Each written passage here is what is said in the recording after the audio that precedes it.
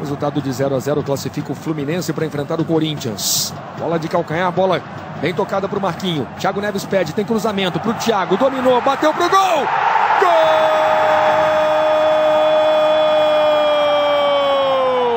É do Fluminense!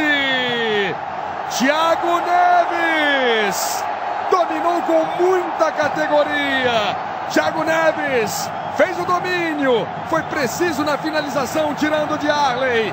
Thiago Neves, 100 jogos com a camisa do Fluminense. E ele faz o primeiro gol. Um para o Fluminense, zero para o Goiás. Felipe Aui. Mais uma vez, ó, quem caiu bem ali pela esquerda, Marquinhos, que já tinha sido o principal jogador do Fluminense no primeiro tempo.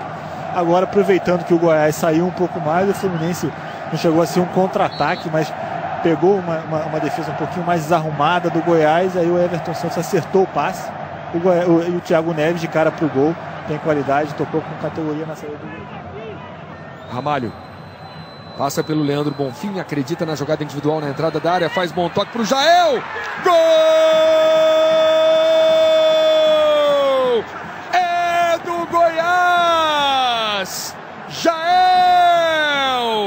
O Goiás empata no Maracanã. Festa da torcida goiana. Um para o Fluminense, um para o Goiás. Jael empata. O resultado de 1 um a 1 um ainda classifica o Fluminense. Felipe Aui.